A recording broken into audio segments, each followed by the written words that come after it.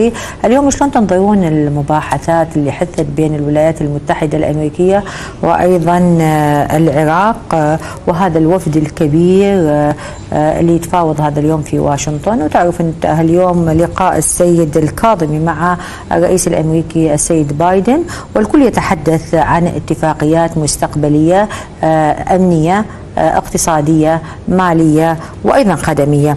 هل راح ينجح العراق في هذه الاتفاقيات لو راح تبقى اتفاقيات مقيدة كاتفاقيات 2011 بسم الله الرحمن الرحيم. تحية لك ولضيوفك الكرام ولمشاهدي قناة كبارة اليوم حقيقة خطوة مهمة تقوم بها الولايات المتحدة مو العراق لأن العراق آه، يعني يريد إخراج الاحتلال بأي صورة من الصور وإن كان أكو محاباة من بعض الكتل وبعض الساسة وإحراج للحكومة العراقية باعتبار أنه بعد دخول تنظيم داعش هناك نعم. استدعاء للقوات الأمريكية من قبل السيد العبادي بغطاء التحالف الدولي يعني جنابك ذكرتي مفاوضات 2011 والاتفاقية اللي حصلت كانت اتفاقية مهمة فرضت على الأمريكان سحب آخر جندي أمريكي أحرجت الولايات المتحدة الأمريكية أمام العالم إنه لأول مرة نعم. الولايات المتحدة توقع هكذا اتفاقية مع بلد دخلته عنوة نعم. أو دخلته محتلة كما أعلنت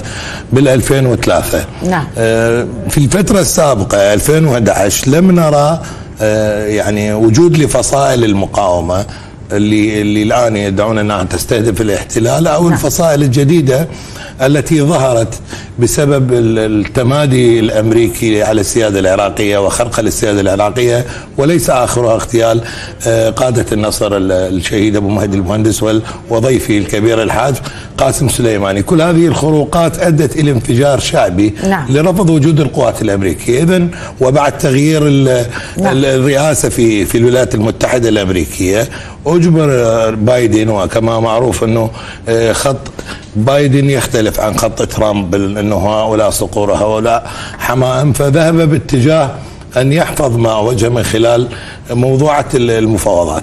المفاوض نعم لكن العراقي لكن سيد يعني سيد البصري خليني أتحدث بكل صراحة. أنت تعلم انه هذه الاتفاقيات الاستراتيجية بين العراق والولايات المتحدة اللي هي طويلة الأمد واللي توقعت آه، يعني قديما جدا قبل سنوات آه، خليني أتحدث عن الحوار الاستراتيجي الوطني العراقي الأمريكي. هذا الحوار الجولة الرابعة والأخيرة. هذا الحوار كان متواجد أيام السيد ترامب. واليوم آه، يعني أيضا في هذه الجولات والجولة الرابعة آه، أيضا هناك حوارات بنفس آه، إدارة الإدارة الأمريكية لكن الرئيس يختلف آه، السيد بايدن. يعني شوف يعني يعني يعني أنا. أقصد إنه الرؤساء تغيروا لكن السياسة الأمريكية هي ثابتة وواضحة إحنا في هذا الموضوع لاحظنا الرئيس ترامب حاول بنفس الطريقة في سوريا إنه سيعيد إعادة انتشار القوات الأمريكية في سوريا وسيكون هناك انسحاب من سوريا هذا قبل حادثة المطار لم نرى هناك انسحابا بعد ال... بعد حادثة المطار المقاومة نعم. والرد الإيراني على آه، قاعدة عين الأسد أثر في القرار الأمريكي نعم.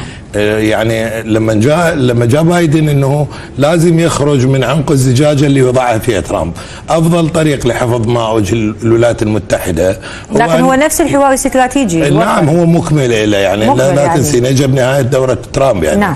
لذلك بايدن سعى إلى أن فعلا تطبق هذه وليس تسويف، اليوم المفاوض العراقي في أمريكا سمعنا تصريحات السيد قاسم العراجي مستشار الأمن القومي عندما قال لسنا بحاجة لقوات قتالية عسكريه أمريكية. نعم. يعني لأن الموجود عندنا جيش عراقي موجود شرطة موجود حج شعبي نعم. موجود آه، قوة. هزمت تنظيم داعش. وان ادعى البعض أن هناك للتحالف الدولي اليد الطولى وللأمريكان في ضرب داعش. قلت لك في البداية نعم. بعد 2011 لم يكن هناك وجود لفصائل المقاومة. انتهت. لكن عادت ب 2014 بعد الفتوى. خلينا نشوف خلينا نشوف. فقط أريد أن أعرج نعم أنه بس هناك بس نقطة مهمة جدا يعني